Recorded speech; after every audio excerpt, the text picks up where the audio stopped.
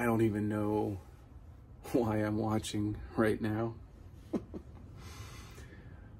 Because we have ourselves another Sunday night special, folks. It's all wrapped up here for the professor in week 11. And, you know, I haven't seen a massacre like this associated with that number since 9 11.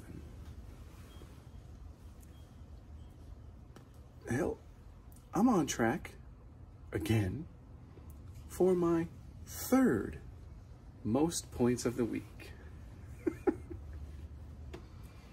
now I get to kick back Monday night and watch Brady do what he does and make up for last week as we push to the playoffs. I have to say, the teams in that first round could be anyone.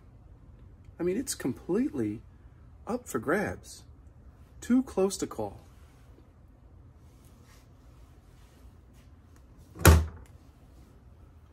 Now,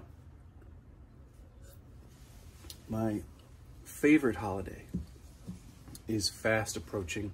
I'm referring, of course, to Thanksgiving and everything that comes with it. I'll just say, stay tuned for a Thanksgiving special edition of my regular contribution to this league.